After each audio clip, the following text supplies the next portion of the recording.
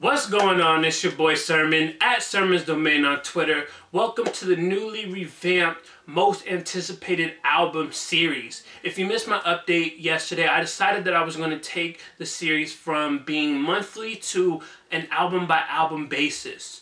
So, kicking off the newly revamped version is 21 Savage's debut album, Issa.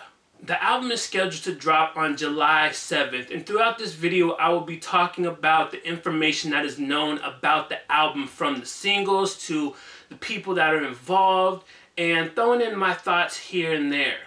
The best place to begin is the album Origins. So the name of it comes from an interview that 21 did with Culture Vulture DJ Vlad.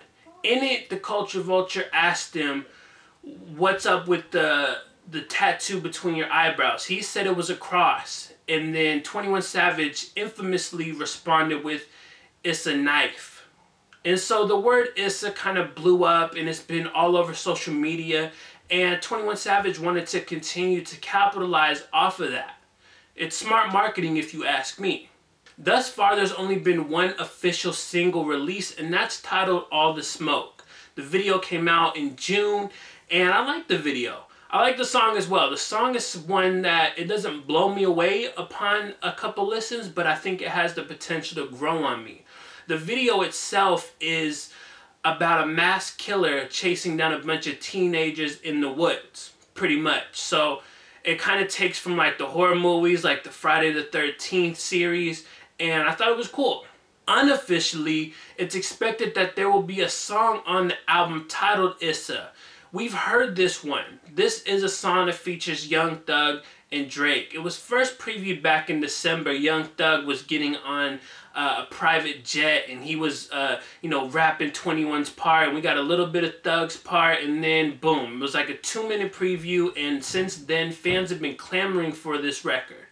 Unfortunately, it leaked sometime in May but we don't have like the most pristine quality. So I'm hoping that it does still make the cut, which it seems more than likely it's the title track of the album, and that will get a much better quality version. Speaking of quality, the album is being mixed by Alex Tumay.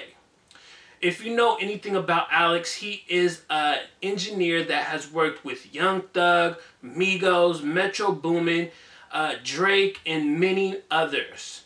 He also did 21 Savage and Metro Boomin Savage Mode last year. On Twitter a couple days ago, he said that he wanted to make uh, Issa sound like an album that is different sonically from Savage Mode. The way he described it was that Savage Mode is a horror flick where Issa is more a mob flick set in the 80s. I always like the way like Alex described things because he describes things really well.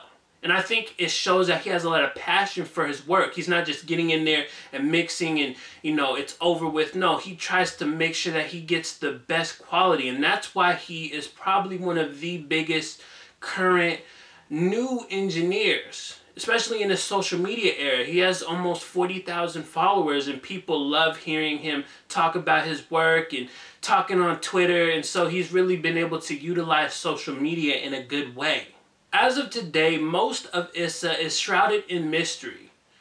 Who will be featured on here? Who did the production? Will this top Savage mode? All of these questions are going to remain unanswered until July 7th, until we actually hear what 21 Savage can do on his debut album, Issa. So those are just the facts and the information and my thoughts surrounding the upcoming debut album from 21 Savage, Issa. Now talk to me in the comment section below. Are you anticipating this album? Does this sound like something that you're going to enjoy? What are your hopes and dreams and what do you just want out of this project after you finish listening? Talk to me in the comment section below and then like the video, subscribe to the channel if you're not already, share the video. Follow me on Twitter at Sermons Domain. And as always, thank you for your time. I appreciate you for watching. And until next time, peace.